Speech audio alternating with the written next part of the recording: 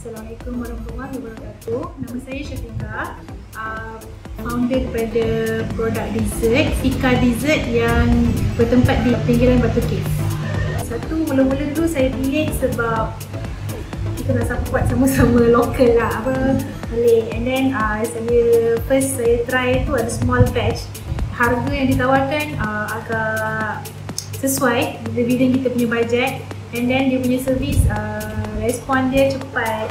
And then dia akan ikut kita punya preference. Yang macam walaupun the first place banyak nak tukar-tukar design tapi still akan uh, dia team host ni akan assist daripada mula sampai habis uh, sampai jadi kotak. Okay, uh, before and after ada kotak yang dah custom print ni Dulu sebelum ni pakai kotak putih, so dia tak menonjol. Kita ada sekarang bila kita ada kotak uh, custom yang memang membawa brand kita orang senang nak price eh, and uh, orang senang nak price sebab nampak bisnes kita tu menonjol uh, dengan kotak yang custom.